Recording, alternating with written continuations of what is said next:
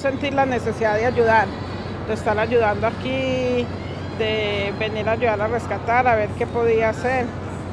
Y por eso fue importante. Me sentía, sentía que tenía que estar aquí.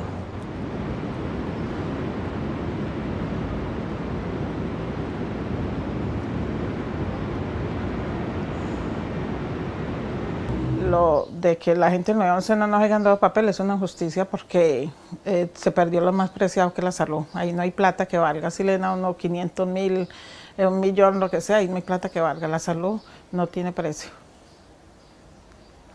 Entonces yo creo que eh, a esta gente, todos los compañeros y la comunidad del 911 debe tener sus papeles.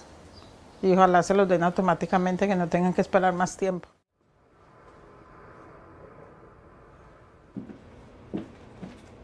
Estamos aquí, este, bueno, enfocándonos en estos 20 años, pero les diré que para estos trabajadores ese día es todos los días. Después que se van las cámaras, siguen ellos. Siguen enfermos, ¿no? No tienen a dónde trabajar, ya ni pueden trabajar.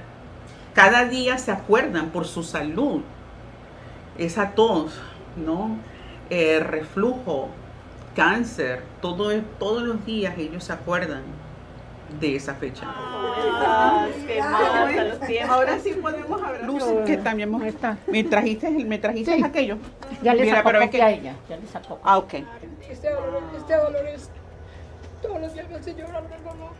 Sí, Luceni, porque realmente me acuerdo que... Me da un dolor fuerte, como si fuera que se metieran por allá y no puedo mover los dedos. Al menos ya los puedo mover.